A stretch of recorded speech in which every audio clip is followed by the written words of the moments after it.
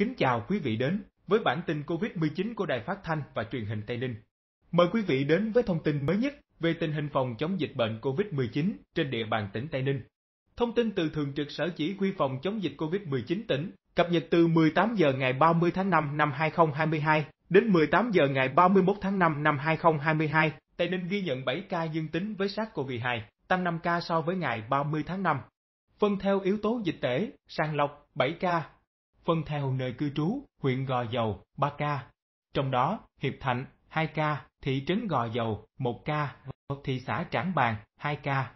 Trong đó, An Tịnh 1 ca, Gia Lộc 1 ca, huyện Tân Châu 1 ca ở thị trấn Tân Châu, thành phố Tây Ninh 1 ca ở phường 3. Tính từ đầu dịch đến thời điểm hiện tại, tổng số bệnh nhân COVID-19 151.052 ca, đang điều trị 34 ca, đã điều trị khỏi, xuất viện 150.144 ca, trong đó ngày 31 tháng 5 là 8 ca.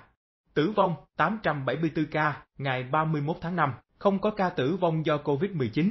Quý vị hãy quét mã QR góc dưới màn hình khi xem kênh truyền hình Tây Ninh TTV11 hoặc truy cập địa chỉ https ttv11.com.vn để nhận thông tin nhanh chóng chính xác về tình hình dịch bệnh.